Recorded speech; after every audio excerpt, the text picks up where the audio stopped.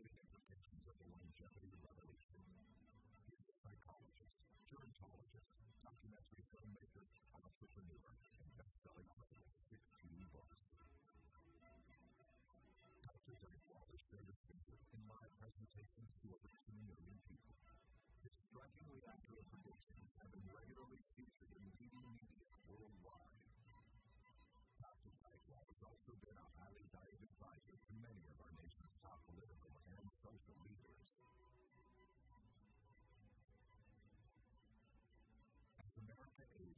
Every aspect of our society will be. However, it's the of retirement that will undergo the greatest transformation. Ladies and gentlemen, Dr. Ken Dychtwald.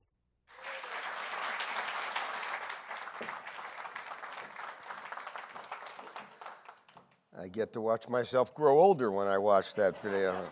Long hair, short hair, gray hair.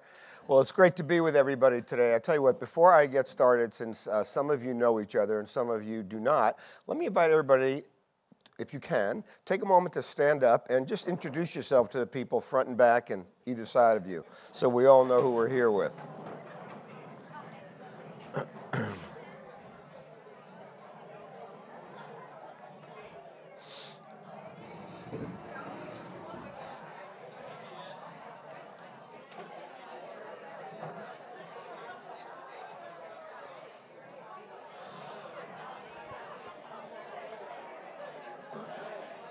Okay, let's get comfortable.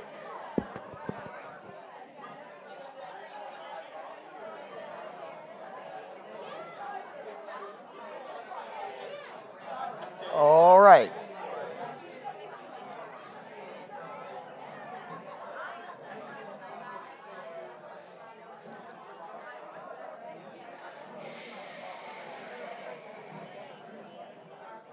All right, let's grab our seats.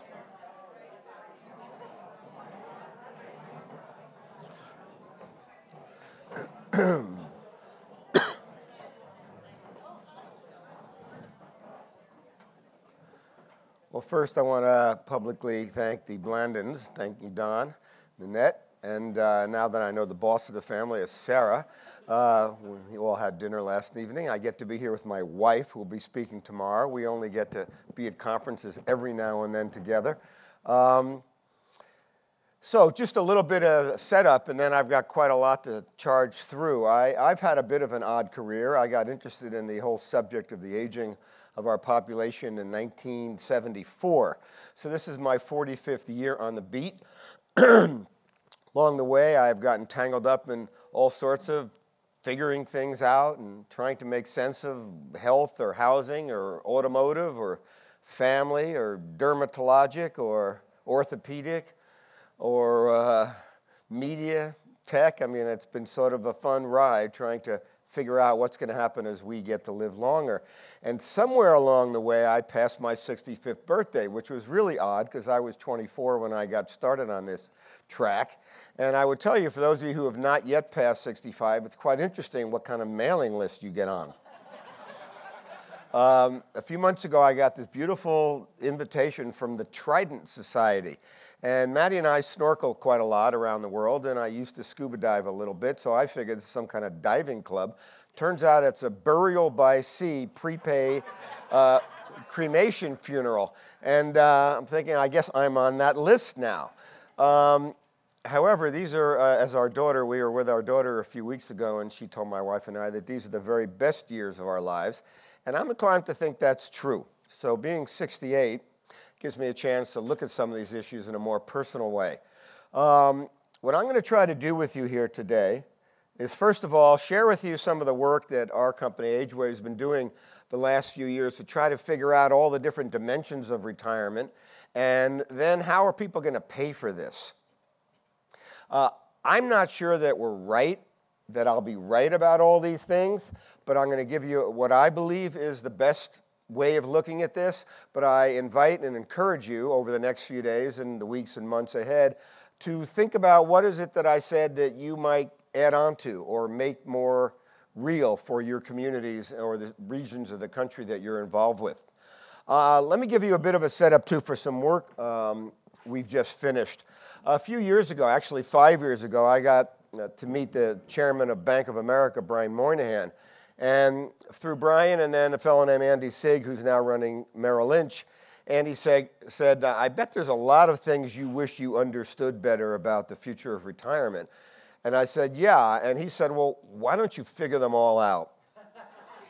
and don't worry about who you're going to get to fund that. Think of us as being just sort of like a patron. Do all the things you'd like to do and do the most extraordinary body of research that has ever been conducted in this world on these topics. And so we've just come out of four years of working on eight major studies having to do with the future of retirement. Uh, we um, reviewed thousands of articles and papers and other people's studies in universities, uh, governments from the United States and around the world. We had 140 experts weighing in. We had 43 focus groups in the United States. As I mentioned, we did eight studies. We had 50,000 survey respondents, and the respondents were representative. So we know the different cuts per county, per region in terms of age and ethnicity and gender and lifestyle. It wasn't just all people who might have called into a news poll that they saw on television. Uh, we put 70,000 hours into these studies. And I will tell you, for those of you who try to see if you can catch the media's attention or perhaps impact the master narrative about these issues. Um, when you do these studies, sometimes they're called newsmaker studies, you hope to get 20 million, 50 million media impressions. And if you're doing a good job, you'll get that. We've just passed our 10 billionth media impression on these studies. So we're in the public mind. And let me share with you some of what we've been learning. By the way, I will tell you that a version of what I'm going to cover today in a special report has been made available to Don, who is going to be sending it all to you before the afternoon is out. So, uh, let, let, me put a context in place. And some of these things you'll all be familiar with, but most of what I'm going to cover today I have not ever covered before. So, we'll have some fun looking at it together. Uh, we all know that we're, we're in the midst of a longevity revolution. Um, you know, not too long ago, people didn't wonder what they were going to do when they turned 60 or 70 because they wouldn't be turning 60 or 70. They'd be passing away before then. Our medical system didn't need to be expert at things like hypercholesterolemia or osteoarthritis or cognitive impairments like Alzheimer's because most people died young of acute infectious diseases, accidents, trauma, childbirth before they got old enough to have their bodies break down we didn't need to worry that much about pension systems because there were so many young people and not that many older people. It was going to be kind of an easy handoff. But as you can see, this last century has been quite extraordinary. And I'm sure all of you are also aware that we're not even that great at longevity in the United States. There's about 30 countries around the world that have a higher life expectation than we do. I would also point out that this is life expectancy at birth. And having mixed it up lots of times with demographers over these decades, uh, demographers can often confuse the public. That's a number that people often think about. Well, what if I live to 79? But that's a life expectancy at birth. If you're already, let's say, 60, life expectancy is right around 85, unless you're a woman, in which case it's a few years older than that. And that's assuming essentially no breakthroughs for the next quarter century. And so it is possible that we might be better off imagining not living a 75 or an 80 year life, but a 90 or 100 year life. To put this in even bigger perspective, this is a chart of the average life expectancy over the past 100,000 years. And what you see is that throughout 99% of all the years that humans have walked this earth, the life expectation worldwide has been under 18 at birth. I'm often reflecting this last year when we talk about our Constitution and what it imagined about the future. The day that our Constitution was signed, the median age in America was 16 and the life expectancy was 35. We have more people today over 80 in America than there were in all of America back in that era. So, who would have imagined a world where people are living longer and longer and longer. And that makes it really fun for people who do the work that you do, that I do, because it means that everything about this is new. People often think that what's the new new? It's the new tech or the new app. No, the new new is this frontier of longevity that has never been mapped, it's never been contemplated, it's never been envisioned, it's never been populated, it's never been activated. One of the effects of all this longevity is that two thirds of all the people who have ever lived past 65 in the entire history of the world are alive today. And I will tell you, as the person who maybe has done more research on these people than any human being in the history of the world, I would tell you that most of these people are clueless about what they ought to be doing with their lives. Last year, the average retiree in America watched 49 hours of television a week. That's 2,940 minutes of, TV, of passive TV watching.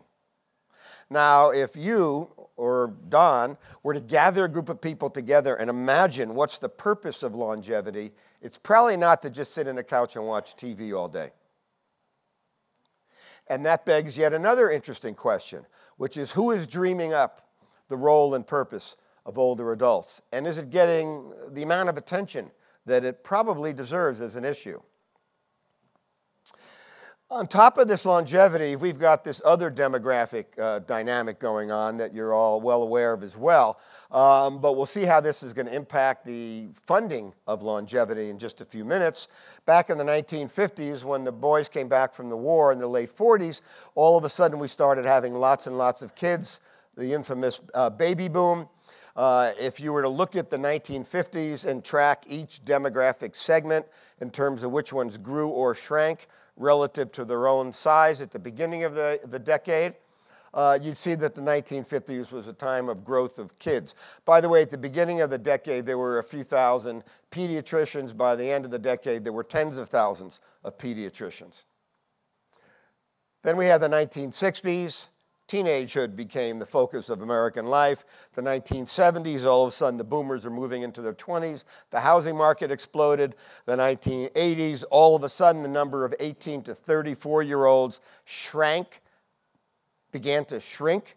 And so we had this huge bulge in middle aged people. The 1990s would have been a great time to have been the President of the United States. And I've had this discussion with President Clinton because because there was a shortage of young people relative to the decade before, you could have taken great credit for all the low unemployment, which, by the way, is the exact same thing that's happening now. As boomers leave the workforce, whoever's in the White House can say, oh, it's because of me, we have such great unemployment levels. It was all predictable.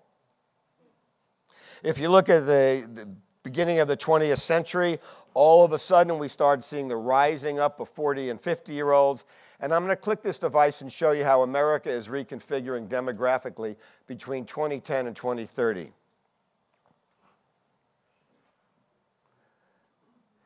Yeah, now I could sit down right now because this is interesting. I mean, this has never happened before. And so if I'm giving a speech, let's say for AdvaMed, the medical devices industry convention, I get a standing ovation right about now because they look at this and they think, wow, this is, this is unbelievable. However, if you're involved with pensions or intergenerational exchanges, yeah, you figure this out. And by the way, that is your assignment to figure this out. Let me give you an example of how this is playing out. Um, we have a lot of new retirees. So we've got this big bulge, like a baby boom has become this age wave, and we have a huge number of people migrating into retirement. Not only into retirement, but spending more and more years after those birthdays. On top of that, to make it even more captivating, what retirement was 30 years ago, 10 years ago, is morphing. So if you could be sitting in this room next to your parents, if they could be the same age as you sitting here, they be thinking about a retirement of rest, of leisure, of kicking back.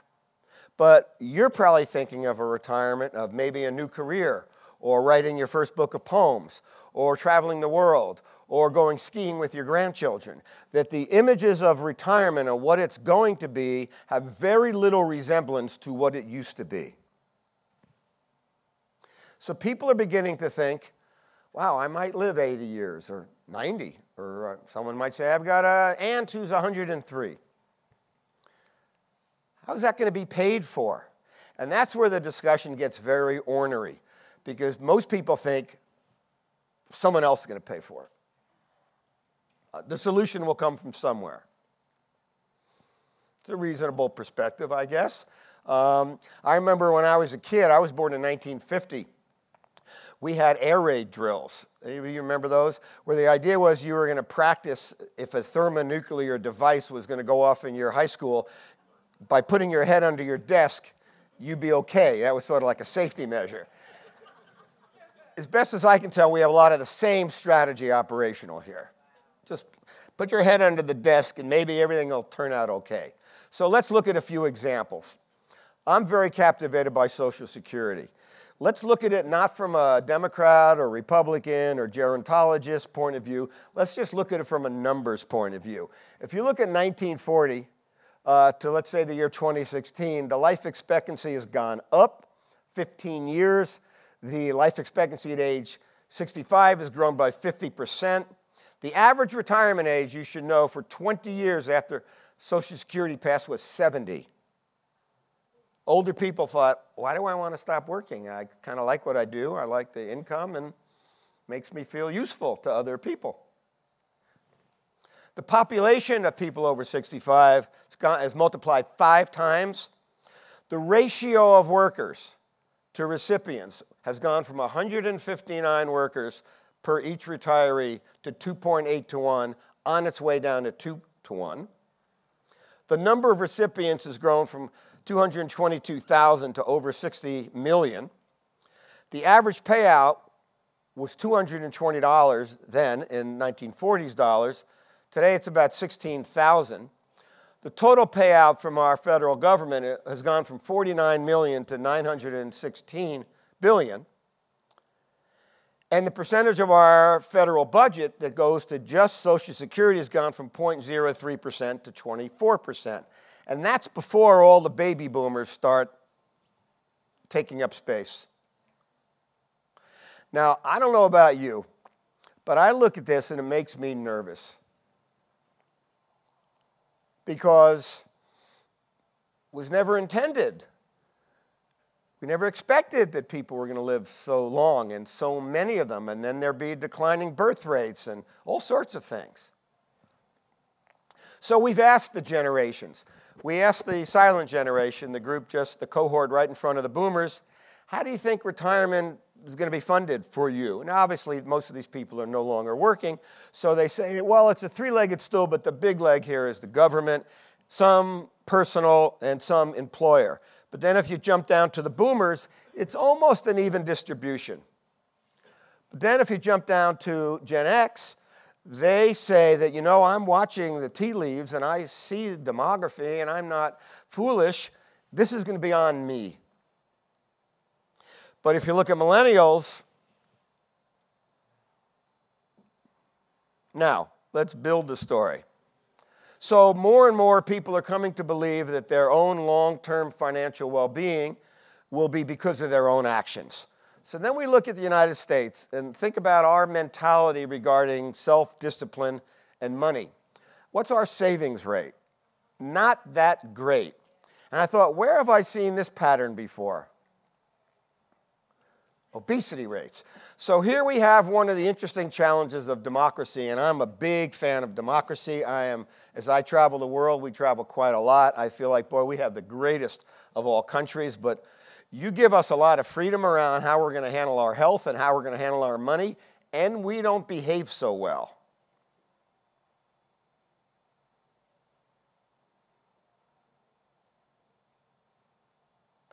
81% last year, the study was just done, say they don't even, they've never sat down, even like throw a number on the wall. How much money do you think you're going to need? 81% of the public says, no idea.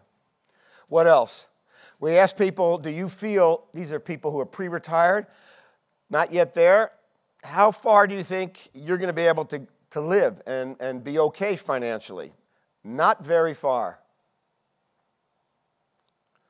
This is interesting. We asked people if you were saving for retirement, What was the trigger to start?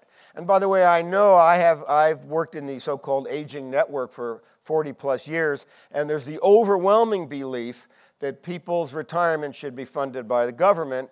And maybe that's the right way to do things, but as I look at the numbers and the demography, that seems like it's going to be more challenged in the future. So we say, well, where are people getting kind of the activated to save? And interestingly, it's their employer, overwhelmingly more than their AARP or more than their church or more than a financial professional. It's my employer had a plan or my employer had an educational program. And, and you know what else? They usually uh, trusted that. It's a good thing to know. Now I'm going to make this uh, more a playful mosaic. Normally, when people talk about funding retirement, they principally talk about it in terms of the, the currency of dollars. I'm going to take a look at the currency of all the different aspects of our lives as we live into that period and think about and show you the ways that people are contemplating making trade offs or trade ups or trade downs or relocations in order to go the distance. I'll start first with finances.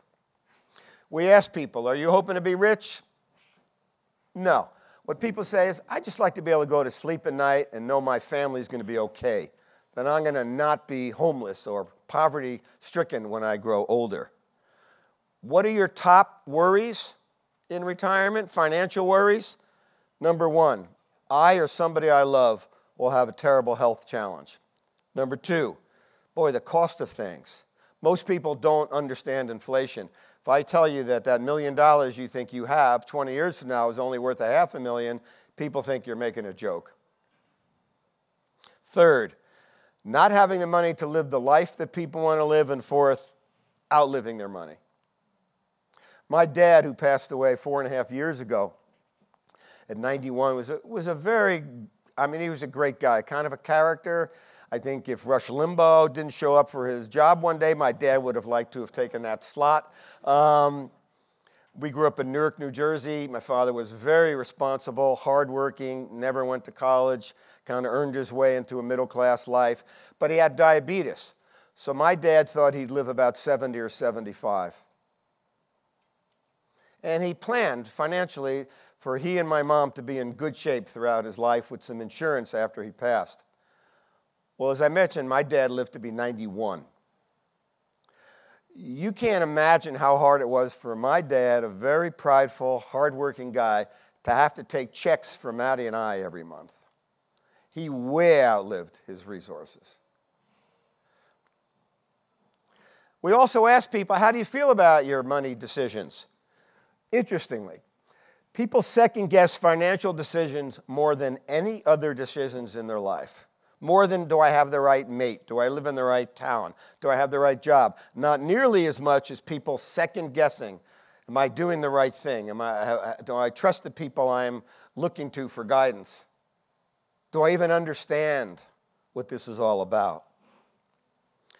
To make things even worse, about two thirds of our population say they don't even understand what anybody's talking about. Now, I got to tell you, I'm uh, 68. I've written 16 books. I've got a PhD. I'm considered like Mr. Age Wave. Uh, last year, I was, uh, there was a designation of the 35 most influential people in financial services over the last 35 years. And it was Alan Greenspan and Warren Buffett and Chuck Schwab, and I was in that group. I was the only non financial professional in the group. But I got to tell you, I sit at financial meetings all the time, and I hear people talking about 403Bs and 529s, and, and I'm thinking to myself, I don't know what they're talking about.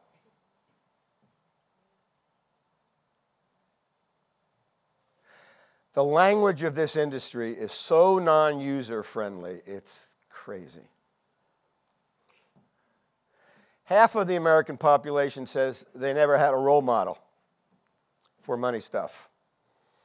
Maybe it wasn't their dad or their mom, or they didn't have a boss or an aunt or an uncle, but usually we follow role models. You know, when I was a kid, I wanted to be a basketball player. I grew up in New Jersey, went to the garden, Walt Frazier, you know? So I would be home trying to be Walt Frazier. But who do people model after when it comes to their money? Who are the role models? And I don't mean, gee, Oprah's wealthy. What does she do? Oprah's amazing. What's a real role model for a woman or a young man? Then we asked, and we did not go public with this, and you may disagree, but I'm going to share it with you anyhow. We asked people in America, by the way, I've now done this same question in 20 countries around the world, and the response is almost identical. As people live longer, what should the government do to support an aging population? First, people say, well, gee, I mean, if you're going to be living 80 or 90 years, maybe you're not old any when you're 65. We ought to move that age. But right behind it, people say, enforce additional savings, mandated savings, which runs against a lot of the spirit of our country of letting people make their own mind up. But what people are saying is, I just can't do it on my own. Make me save and help us help ourselves. 90% of the American public would like financial education to be taught in high school. By the way, I've been doing studies now for a quarter of a century. I have never seen any question that has gotten a 90% response. People, in our family, we have two kids. We can't get a 75% agreement on anything. Financial education should be taught to teenagers. Right now, 36 states in America require sex education. Only five states require financial education. So here we've got generations of young people going to be living very long lives, many of whom don't have a role model, don't understand the language, could use some help. Just to get the, the game started, we asked people all right, so what kind of changes, what kind of corrections would you be willing to do? And these are all in the report, so I won't dwell on them.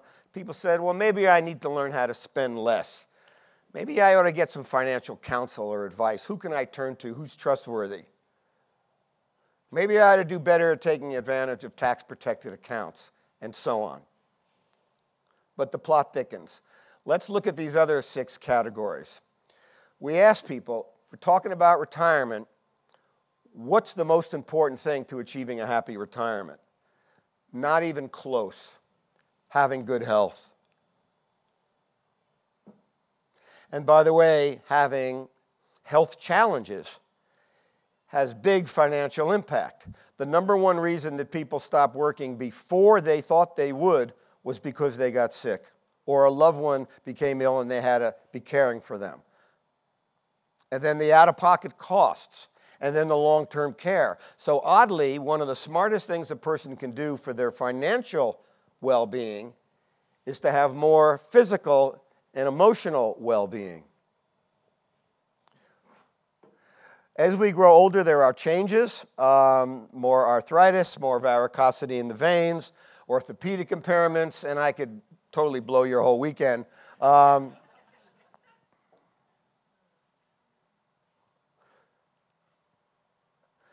But more and more people are now talking about, you've seen these covers. I've been at these meetings. I've got friends. You know, the billionaires in Silicon Valley are all trying to beat aging. They're all trying to, can we live to 150? And by the way, I've been at many conferences this last year. I'm involved with the X Prize. I keynoted the Exponential Medicine Conference last year. People are quite convinced that while there might not be some sort of an exponential breakthrough in the next year or two, the next 20 years, no question. And so half of all the kids born in the last couple of years, your children or grandchildren, are going to live to be 150. Now, who's going to pay for that? The challenge is how do we match health span to lifespan? So we've done sort of an oddball thing with our health care system, is that we are struggling over how to distribute it and how to fund it but we haven't stopped to say, is it actually relevant? We have 126 medical schools in America. There's only 12 departments of geriatrics. 90% of all the doctors, nurses, rehab technicians who will graduate from school this year will not have taken one elective in geriatric medicine. We don't have much as a preventative health system. And our rehab and recovery systems are uneven. So maybe if we could figure out how to match our health span to our lifespan, we'd have healthier 70 and 90 year olds who'd be more financially well off. One of the things we need is medical excellence. And I know that Kerry's in the room here, Kerry Hannon, who's probably the, one of the several great writers on these subjects. I have been going after AARP. In fact, I just spoke to Jo Ann Jenkins about a week ago on this. It's unconscionable for me that we have so many physicians in this country caring for our moms and dads who are incompetent at doing so. I'm not saying they're not nice people and they didn't go to medical school. I'm saying they don't understand how to deal with an elderly person. They don't understand polypharmacy. I have an Aunt Phyllis who sort of was like an extra mom to me growing up. Uh, my, my aunt and uncle lived a few blocks away from us. She's now 93. So she's got a lot of pain from her arthritis. So her doctor prescribed Vicodin. She lives alone. So a few months ago, my Aunt Phyllis got up in the middle of the night, fell down and broke her neck. Now, what kind of doctor prescribes Vicodin, opioids, to a woman in her 90s who lives alone? How can we have a medical system where doctors are not trained? By the way, you go to Great Britain, every doctor has received training in geriatrics. Japan, one in two. And not only that, but because geriatrics is not sexy or highly compensated, the number of geriatricians in America, while we've got 40,000 or so pediatricians, we had 9,000 geriatricians five years ago, but they're retiring. We've got about 5,000 now. Second, boy, do we need better science. I watched every single minute of every single debate leading up to the last election. There was not one question focused on better science so we could eliminate some of the diseases of aging. Not one minute. Alzheimer's is going to become the sinkhole of the 21st century, and it will, it's a disease that will not be beaten by doing crosswords puzzles or eating a vegan diet. This is disease that's going to have to be beaten in the lab. And yet, for every dollar we spend on caregiving people with Alzheimer's, we spend less than a half a penny on the science needed to beat the disease in the first place. And third, we've got to make ourselves a healthier bunch if we're going to go the distance. And whether that's through exercise or, uh, or social interactivity or moving more or eating healthier diets, better attitude, sleeping better. And we need to set a higher standard for what's possible. Here's an example of a gal, I believe is 86.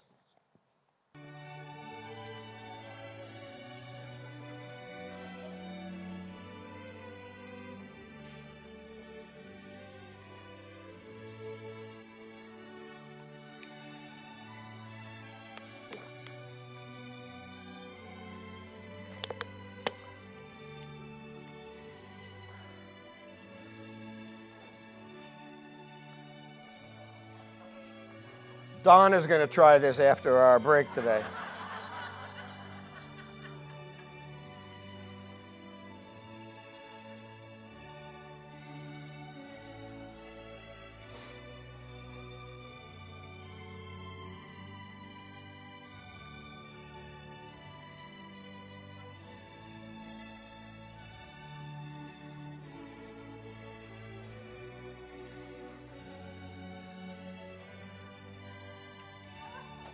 Not bad. We ask people, what's the scariest disease in later life? It's not even close. Alzheimer's and related dementias. And as many of you know, the incidence is one in three over the age of 85, one in two over the age of 90. So here's the cruel irony of our modern medical system that we're doing better and better and better at keeping people alive longer and longer and longer, which means that more and more people will have Alzheimer's and related dementias unless we stop it in its tracks. When I was 30, I was lucky. I collaborated on a book with Jonas Salk, who back in when some of you were very young, when I was like three, he had his breakthrough. I didn't obviously know him until I was in my until I was 30, but he talked about how in the 1940s people thought that poliomyelitis was this horrible, who can even understand it? And you catch it from strangers, so don't dare ever touch people you don't know. And don't go swimming in public swimming pools because you'd catch polio. And, and if you got, got it and you survived, you might have to be in an iron lung for the rest of your life. So a lot of people thought that what the world needed was more iron lungs. And Salk explained to me at dinner, he said, no, my attitude was completely opposed to that. My attitude was, we need to stop this disease. Most of the high minded, really good people who are involved with the Alzheimer's crusade are trying to create Alzheimer's friendly communities and Alzheimer's friendly, you know, buildings. I'd like to turn the disease off. And that would put a whole lot of long term care questions away. That would put a whole lot of long term care related caregivers, free them up. It would give us a different future.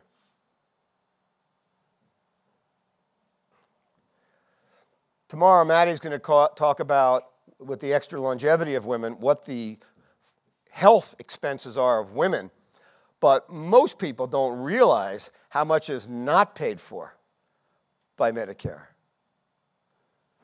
So, in addition to whatever your retirement savings ought to be, do you have an extra quarter of a million dollars for the out of pocket health stuff? We ask people, what changes, course corrections, would you consider making? People thought, you know, I could take better care of myself. Second, maybe I could get a little smarter about my health insurance and figure out how it works. Maybe I could use some more of the community programs that might be quite good. People are even thinking maybe I should buy long term care insurance. But even having the discussion would probably take people further than they are right now. Now let's talk about work. Work's an interesting issue because it is one mechanism for impacting retirement funding.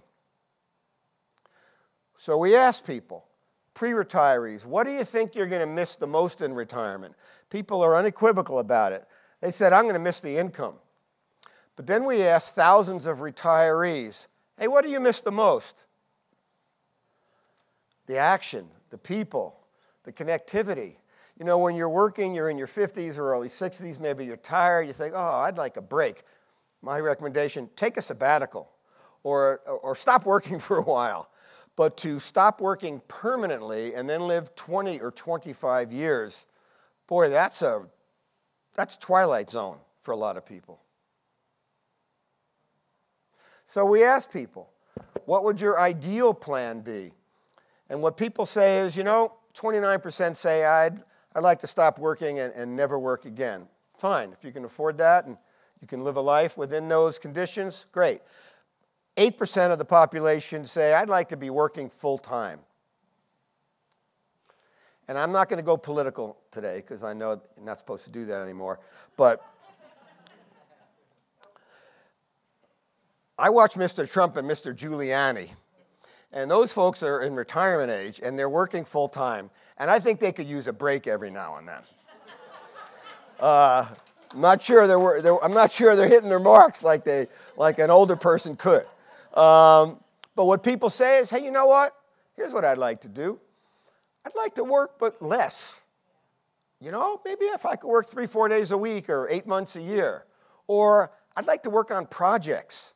You know, can I work on something for eight months and then take four months off? And then, now, by the way, we have Uberized the world or Airbnb the world. So we're able with logistics to plug people in and to plug them out, plug and play.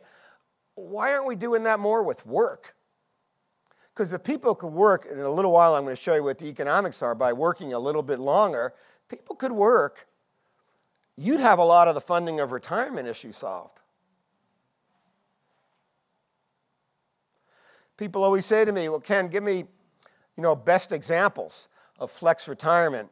And I would tell you that I think it's the entertainment industry. you know, the Stones are now older than our Supreme Court. And uh, I tell you what, they still make some pretty great music. You know, Springsteen decided he's going to become a playwright. He's 68. Um, we have people in the entertainment industry who work and take a break and then they work some more. And we're beginning to find ourselves okay with that. We ask people, what kind of course corrections could you make? Work on a part time or project basis in retirement. By the way, you also have to let go of your,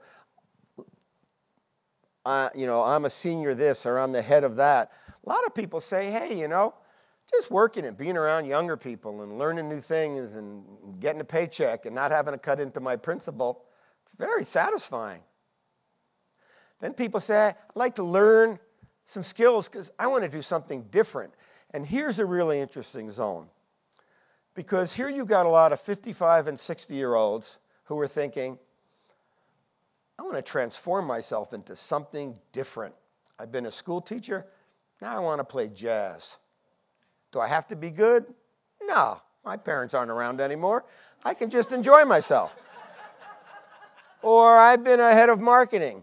What I like to do is to help kids learn how to do marketing. Or I've been a this and I want to be a that. The idea of having a 50 or 60 year life and then a metamorphosis is clearly the model for the future. But then we need our community colleges and our HR programs to help people reinvent themselves. Otherwise, they stay home and watch 49 hours of television a week. All right, let's take a look at family. Um, what aspect of your life is the greatest source of satisfaction? And we gave people a choice of all these seven different categories. And I will tell you that money was not number one. Work was not even close to what I think. Oh, you know, I've, Sigmund Freud said the things that matter most in life are love and work. Most people don't buy that. They think work, ah. family, towers. This is interesting. Among people 18 to 34, the number one living arrangement currently is living at home with parents, more than any other living arrangement among people in this stage of life. How many of you are familiar with the word FOMO? Raise your hand. How many of you aren't quite sure what FOMO is? Okay, yeah, so there you have an interesting thing going on, which is that, and I'll explain, that those of us who grew up in another time believe, you know, hey, when I was 16 or 18, my parents told me, you're on, you know, get out there and get a job. And that was partly how you were measured.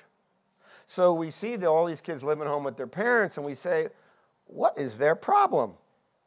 Oh, and then we can rationalize it. Well, the cost of living is so high, and real estate is so high, and college tuition and college debt.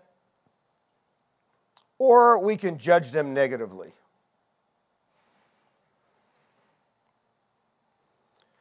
I asked the word FOMO because it's believed to be by researchers and psychologists all over the world now. It is the number one driving force in the lives of people in this stage of life fear of missing out.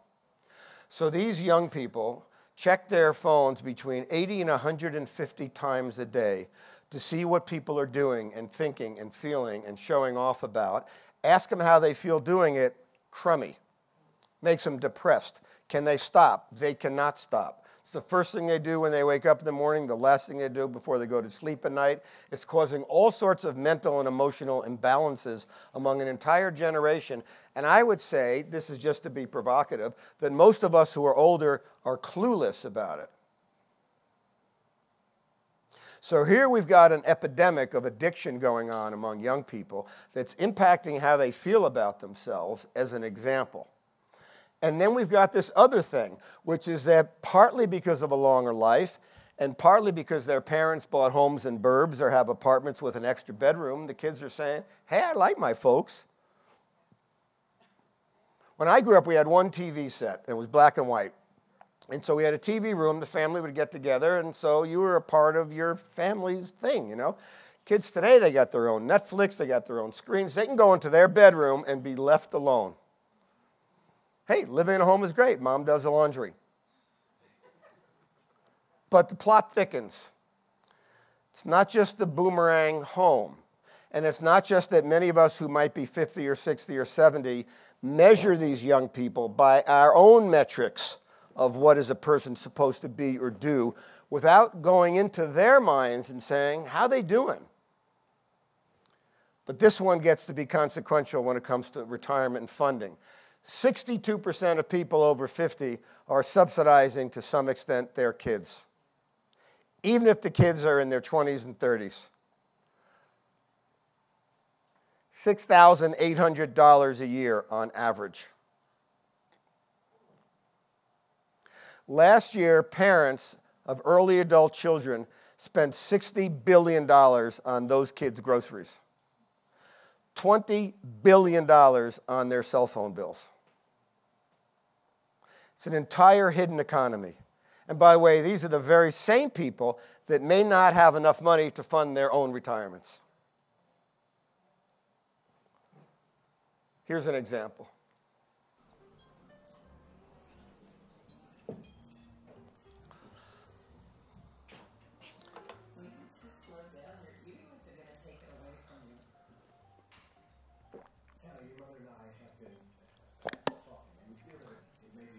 Touch more volume. Well, we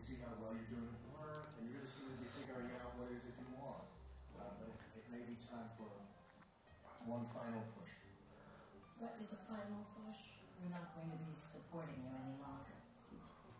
But I have no job. No, you have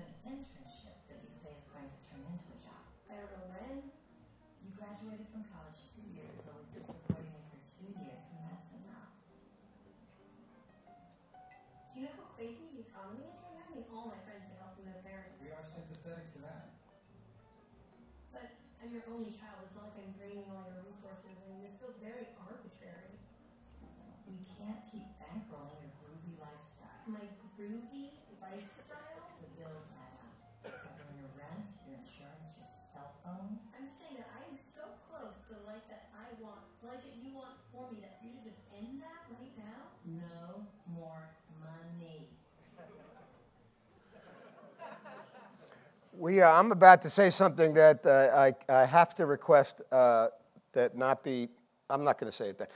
We have, we have a study coming out in several weeks where we've calculated the amount of money that people who have children between 18 and 34 are contributing to their own retirement accounts and the amount of money they're spending subsidizing their children. And you will be dazzled when you see the numbers. And so we have this whole new phenomenon because boomer parents and their kids have got a lot of connectivity. The cost of living in cities is so crazy high. College tuition is busting a lot of people.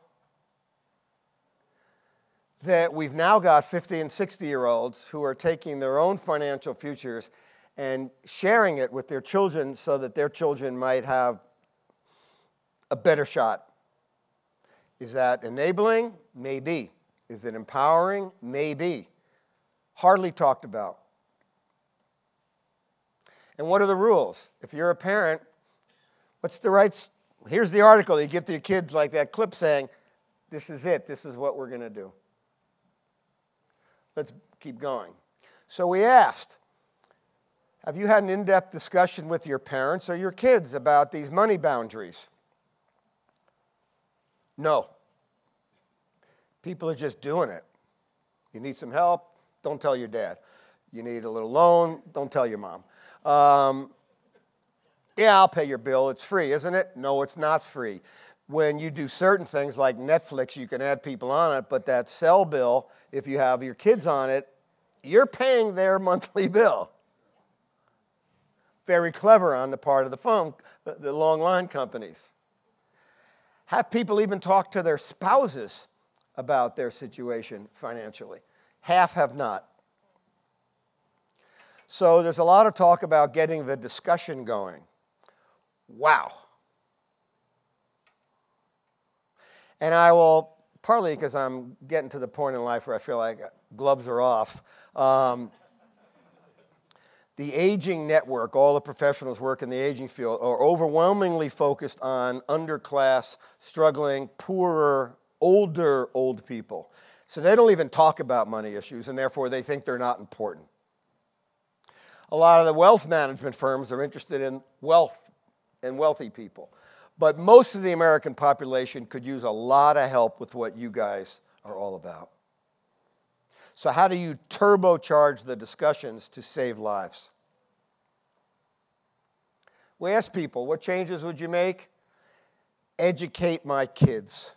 Number one request I don't know how to do it. Can you help me?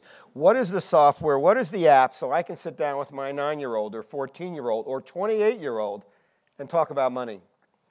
What else are they saying? Support them less.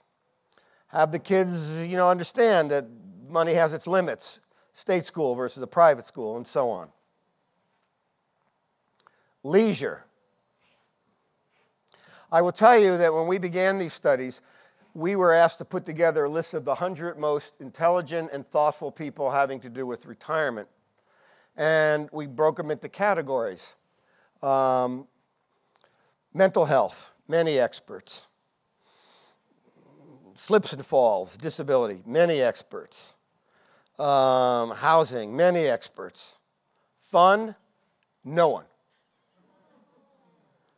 Not one expert on fun in maturity.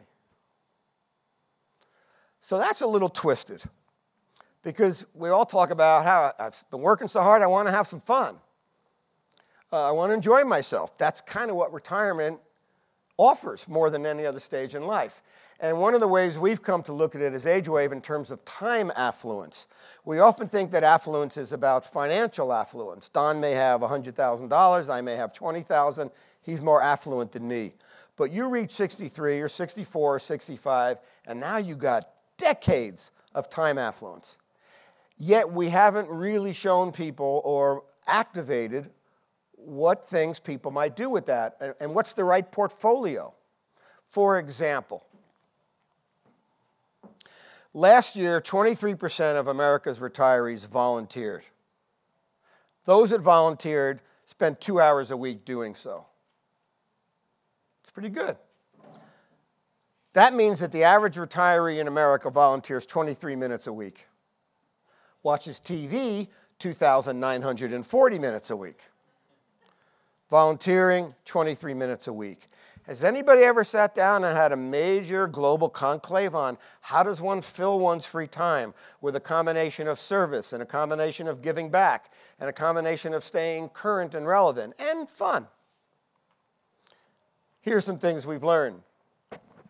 Retirees began to talk about what matters in life. And what begins to matter more than things are experiences. And they don't even have to be expensive experiences, just experiences with your grandkids, time with friends, being free of pressure. And who you're with is more important than what you do. And we found that people of very modest financial resources have every bit as much fun in their leisure as people who are very wealthy. And they may be doing it at the local park, or by staying at their niece and nephew's home in a college town, or by learning how to paint or draw or volunteering at the community center. So, getting more sophisticated about what to do with all this free time is an area that we think is going to come more alive. Some people say they want to disconnect. This crazy family went to Africa thinking they ought to reconnect. That's our family. Um, that's our daughter Casey, our son Zach. Um, that's a rhino. Um, some people want to get off the grid. Some people want to get on the grid. Some people want to rejuvenate. Other people want to keep learning. And other people want to give back and people talk about wanting to have peak experiences, and yet what most people say is they want to have all of that. That's the new portfolio for one's life. How does one organize that? This is interesting.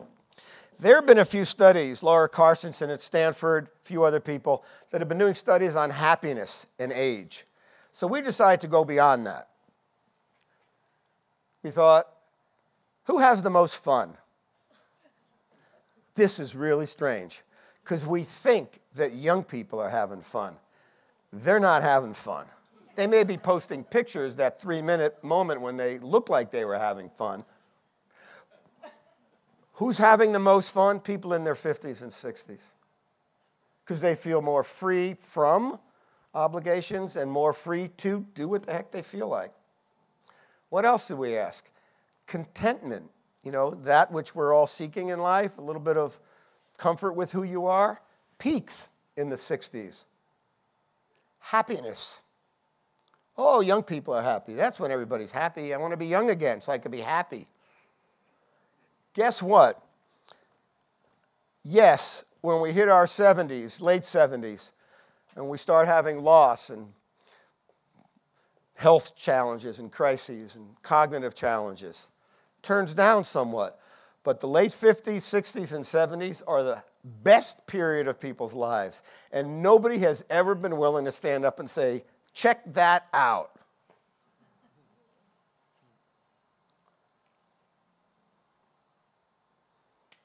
Oh, Don's thinking about it. Uh, yeah, when I saw this, I said to Maddy, I said, what, what are we working so hard for? You know, I mean, there's all this good time waiting around the corner. But we are such a workaholic culture, and we measure people by how hard we work and how many hours we pound away. And middle of the night, we're doing work texts. The idea of learning how to be more open and present and happy with one's life. And that's another variable that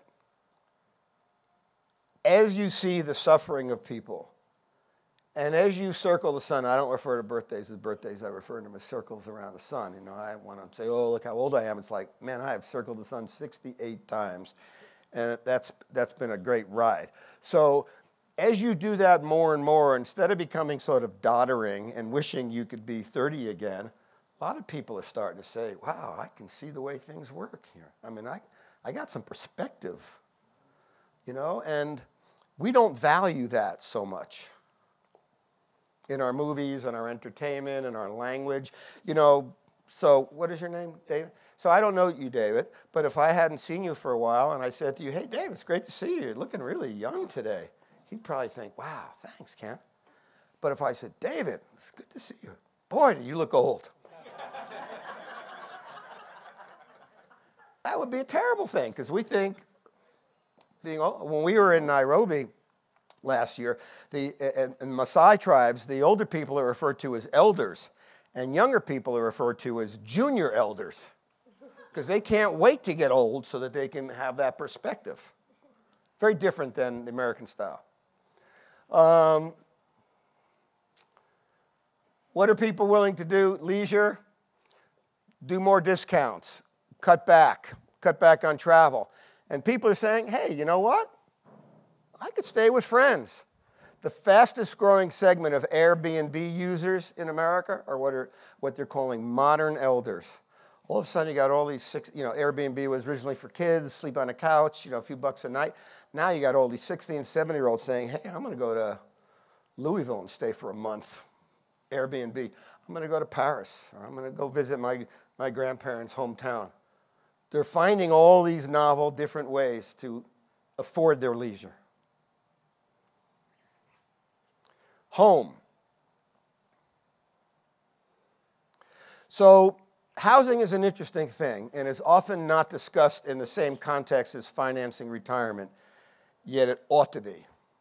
So, you see, I'm leaning hard today on the holistic thing because once you get your head on how all these things connect up and they're all fungible in a way and they all can cause the numbers to go up and down, it's a, I think it's a more real way that people can look at their lives.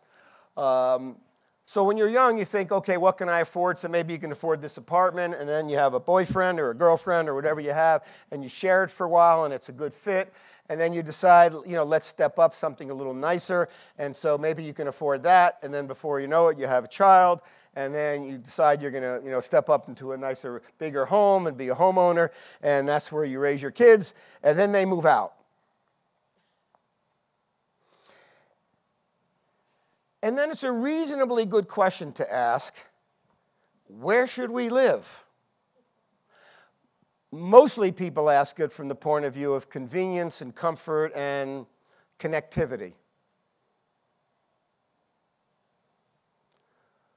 But another question to ask is what would be the wisest financial decision regarding where we live? A couple of things to know.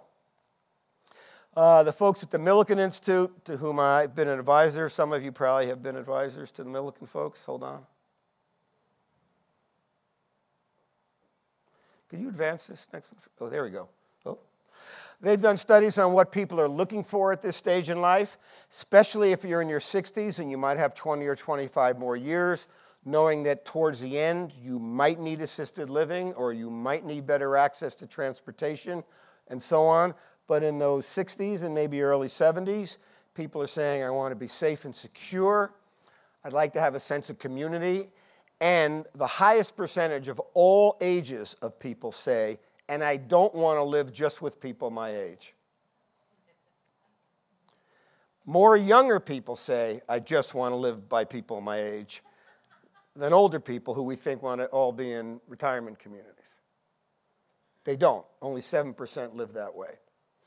They want a place where they can learn and grow. You know, I was hearing, by the way, that mayor was very charming, uh, very clever.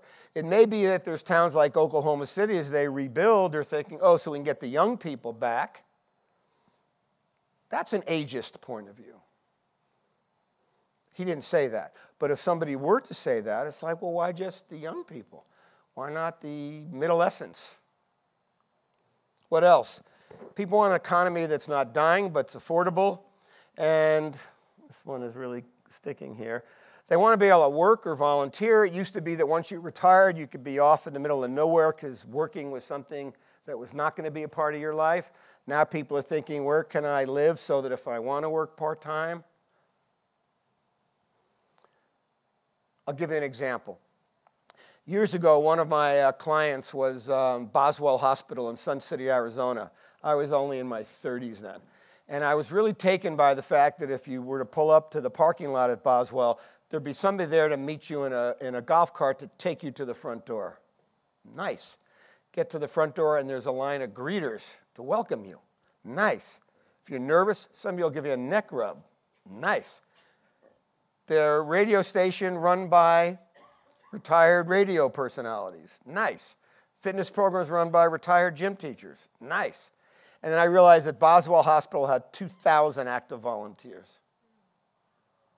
So I'm speaking a number of years ago at the International Mass Retailers Association, and I got the heads of all the major mass retailers, the big ones, and I said, man, you guys ought to go to Boswell and experience what it's like to have a greeter welcome you.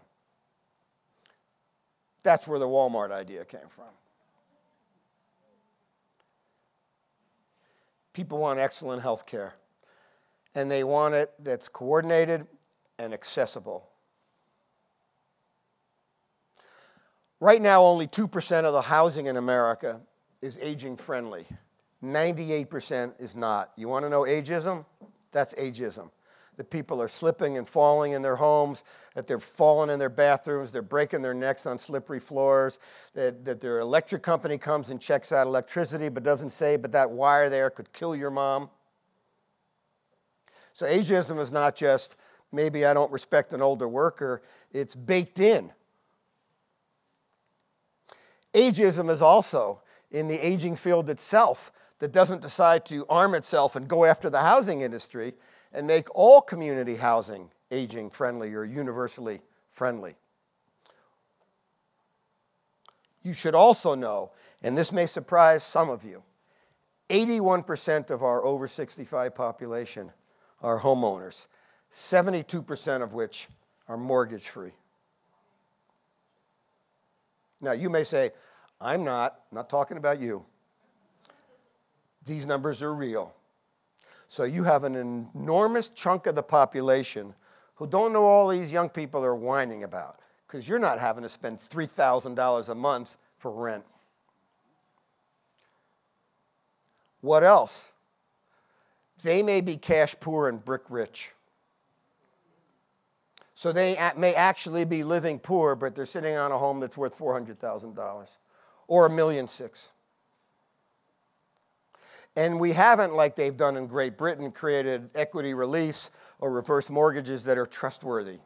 So people don't know what to do to finance their future, but many of them are living in properties that are paid off. Airbnb is also targeting them and two thirds of them think they're going to move. So last year I keynoted the renters convention. It's all the people who build rental units. And I wouldn't surprise you to tell you that the overall focus of the conference was building rental units for millennials. You know, I said, excuse me, but first of all, millennials are broke. Um, second of all, you got like tens of millions of people now who are thinking about, you know, selling their homes and maybe living in different places over the next number of years. Who would like to be renters?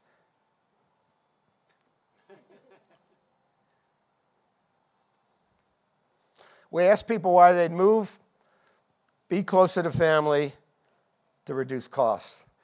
You may think, reduce cost. You mean go from a certain cost of the property or rental or home someplace nearby? Maybe.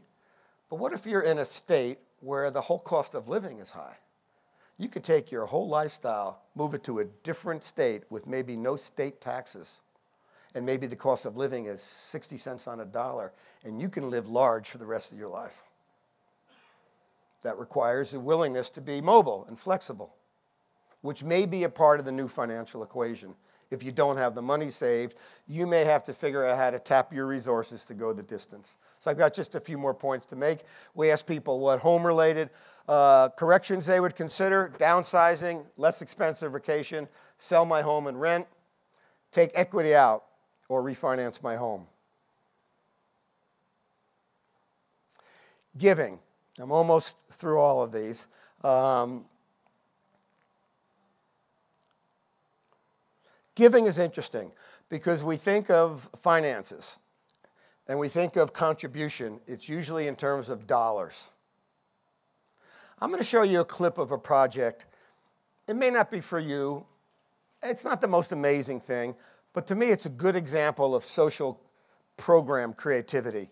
And I will tell you, having been straddling the not for profit and for profit sectors now for four decades, I am taken by how the not for profit sector is driven by really heartfelt, good people largely, without any creativity.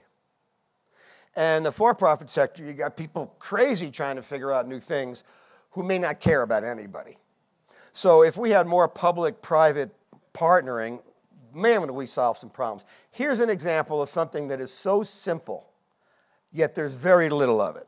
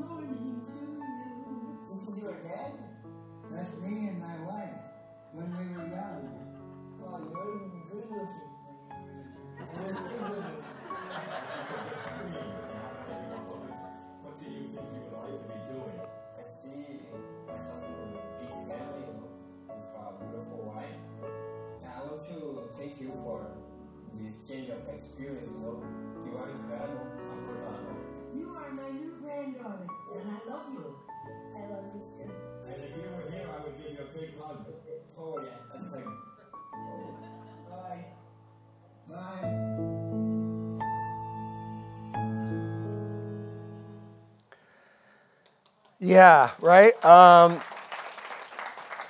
there are thousands of great things that could be going on between the generations that would both make people feel better, connect people, and maybe create bridges of understanding. Uh, I'll give you, I don't know why I'm thinking this because it's a, it's a weird example, but a couple of years ago we had a woman working in our company who uh, was half black and half Mexican, and she was quite wonderful. And at one point we decided that we were going to try to understand each other better in terms of our culture. So she said to me, okay, so who's your favorite musicians? I said, there's no question about it. It's David Ruffin and Eddie Kendricks from The Temptations. And she says, I don't even know who they are. I said, who is it for you? She said, Kanye. I said, he's a jerk. And, and she says, all right, the game begins. And we spent that next year sharing with each other why we thought different things from our era were valuable and wonderful. And uh, that was a big benefit for me because I realized, wow, I didn't real, I don't know how she looks at the world, and now I have a better sense. And she, you know, was getting tired of all these old people talking about, oh, back in the day, and it's like she wanted to understand what it was for me. We don't do much of this in our country. It used to be the business of families. Families are getting separated. A lot of people don't have kids or kids that live nearby. I've envisioned that often we think, Don, let's go after companies and get them to sponsor things uh, by paying. I says, why don't we get companies to donate their retirees? I mean, you've got companies with military, for example, with millions of retirees, companies with tens of thousands. If we could arm up grown ups to teach young people about money and life, you'd have a whole different fabric of America.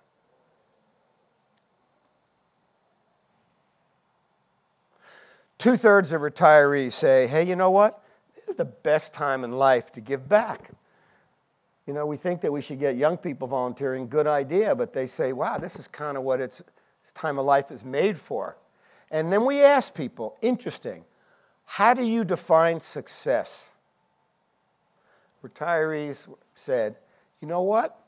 I used to think it was about your house, your car, your money, your title. Now I'm a little older, I realize it's about your generosity. And I'll, I'll mention another individual here, David Brooks, who's a conservative writer, but I, I don't know, conservative and everything's gotten lost, I guess, now in terms of who's anybody. But he wrote a piece last year about your two resumes your career resume and your eulogy resume. And he said, when we're young, we focus on our career resume. This is what I've done, this is who I know, this is what I've made. And then you get a little older, you grow up, and you start to realize your eulogy resume matters more. Who are you as a person? How will you be remembered? And you ought to get to work on being that person.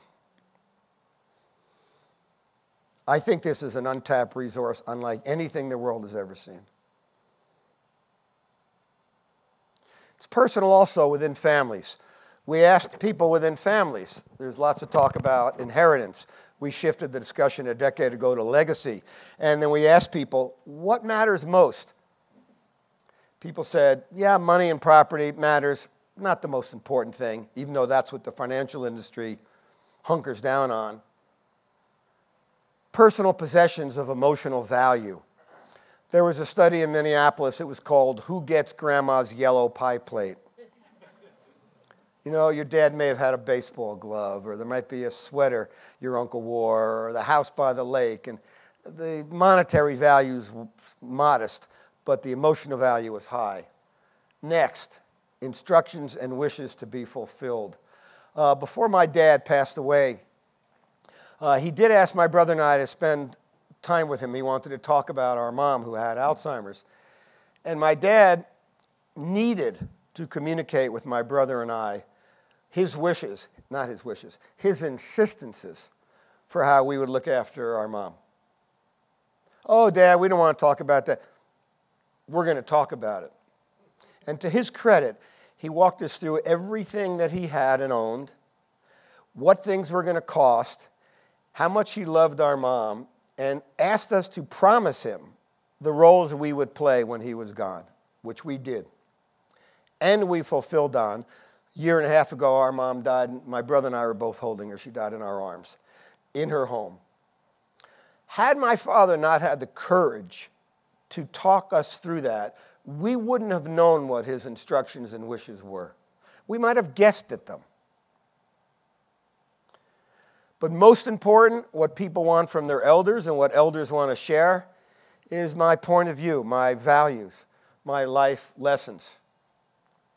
In the 14th century, many religions had two wills a material will, this is what I own, this is who gets what, and what was called an ethical will. Not a great name, but an ethical will, in which people wrote down all the things that they believed and how they wanted them distributed for generations to come, their ideas and beliefs. Before I wind up, and I'm almost at the end, and then we're going to have some questions, uh, I will tell you that when I was in my 20s, exactly 41 years ago, I, uh, my grandfather had passed away, and I decided I was going to get a video camera. Back then, they were big, clunky, reel to reel things, and spend a week videotaping my grandmother. And um, my grandmother had been raised in an orphanage. Uh, she was barely literate. Uh, she was sort of a peasant style, Russian American type uh, woman. She was wonderful. And here's a couple of minutes of my grandmother.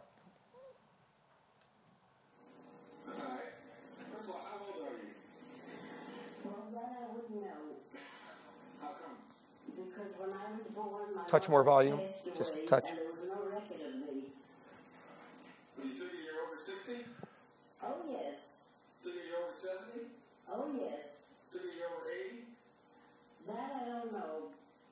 Around that age, I think. I was in the orphan asylum in Elizabeth. I don't know how long I was there. I stayed there quite some time. And then when I got a little older, I, whoever took me in, I boarded with them. How old were you then? Were you very little? Oh, I was a little girl then. In my bare feet. Had to time them no shoes.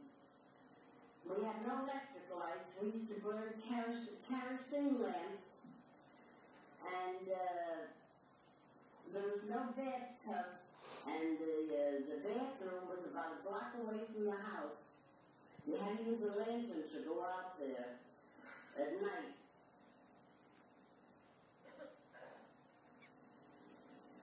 Did feel about you? Well, he was in love with me How did you know? because he always told me. What do you mean? Well, he always told me how much he loved me and that he couldn't be without me. And he loved me very dearly. He was a very good husband and a good father. We used to sit and watch television, and when the uh, number would come up, we'd get up and dance, the two of us. No, you didn't. Yes, we did. We'd get up and me in his arms and we'd dance. Did you like that? Sure, I liked it.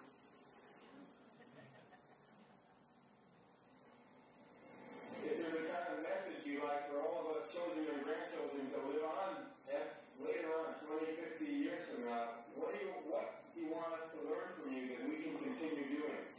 To be good, honest, respectable, and live happy with your families. Like I lived happy with my husband. You're it's reading, Clara. That's enough. Graham, we've got a few more things to do. Why do you think we're doing this? I don't know you want to remember me. And you like me. right? That's right. That you love me. I do love you. And I love you too. From the minute you were born, I loved you. And find a nice girl and get married, and I love you double.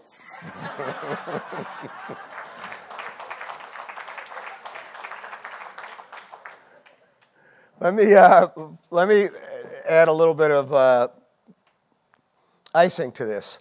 Uh, we created scenarios, and I'm only going to show you a couple quick ones, uh, just a minute on each, of what people might do and the financial impact, which is the kind of fluency that we all ought to be competent at. So we said, let's just say, for example, your family. Your child reaches 22, and you tell them, that's it. We love you. You're on your own. If you do that and nothing else, you'll have an extra $105,000 to work with. Let's take another example. Let's say you have a 60 year old couple living in Seattle, and they decide that rather than stopping work, they're going to continue working half time for five years. He's a claims adjuster, and she's a dental hygienist. Give him an additional $300,000. Five years to mid 60s, working half time. Here's a couple living in New Jersey. They're 62, they both have long lived parents. They think, you know what? New Jersey, my home state originally, it's kind of expensive here. What if we move to South Carolina? By doing that move, selling their home, having that money to work off of, live off of, and not having to pay mortgage, gives them an additional $690,000. But here's the crazy one. You got a 23 year old recent college graduate working in Boston. His company offers a 401k plan. He's not even sure what that is. By the way, who named these things? 401k. What is that? Does that move you inside when you hear that? Um, there's a 3% deferral rate. He or she doesn't, in this case, doesn't quite even understand that. He changes the deferral to 15%. Gives him an additional $1,300,000. If he was thoughtful about this, and it was part of the reason that he chose an employer, and the employer offered to match the first 4%, by doing simply that, that'd give him an additional $1,700,000.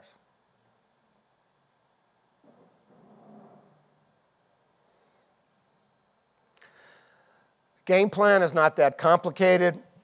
If we're going to live these longer lives, we have to have the capacity to, from time to time to explore and envision our lives in our later years.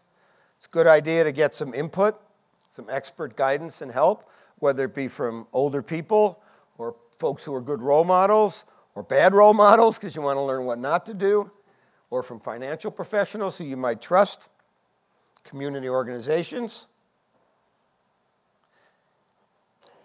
Create a strategy that fits. If I was trying to launch a business and I told you I'm going to do this and that, but I only need $8 to fund it, you'd laugh at me. So making sure that a life plan and a financial plan marry. But this just as important. We were doing focus groups in Texas, and one of the guys in the focus group had been involved in the Apollo mission. And he explained that 90% of the time that rocket was off course, even though it had all been tightly planned.